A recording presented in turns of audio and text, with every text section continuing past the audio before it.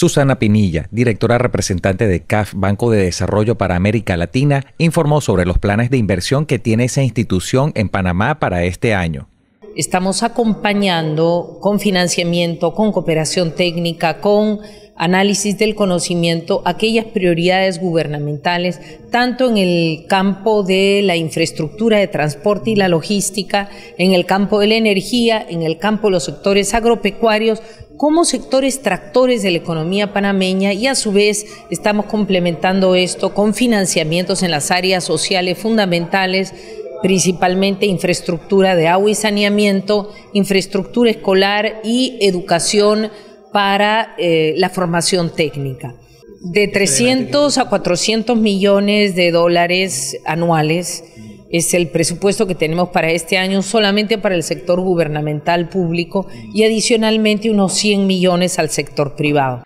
Pinilla además dio a conocer que se espera en los próximos días la visita del presidente del banco, quien se reunirá con el ministro de Economía y Finanzas, Dulcidio de la Guardia, para concretar el aporte panameño acordado para el incremento del capital del CAF el próximo martes 2 de febrero, que va a estar aquí nuestro presidente Enrique García, conjuntamente con el ministro de Economía, pues parece que ya se firmaría esta ampliación de capital, con lo cual Panamá daría ejemplo al resto de países latinoamericanos, siendo el primero que hace su aporte capital y por lo tanto el primero que se beneficiaría de ampliar su cupo de acceso a, a recursos de financiamiento. Susana Pinilla precisó que el aporte inicial del Estado panameño sería de 20 millones de dólares. Para anpanamá.com, José Antonio Gil.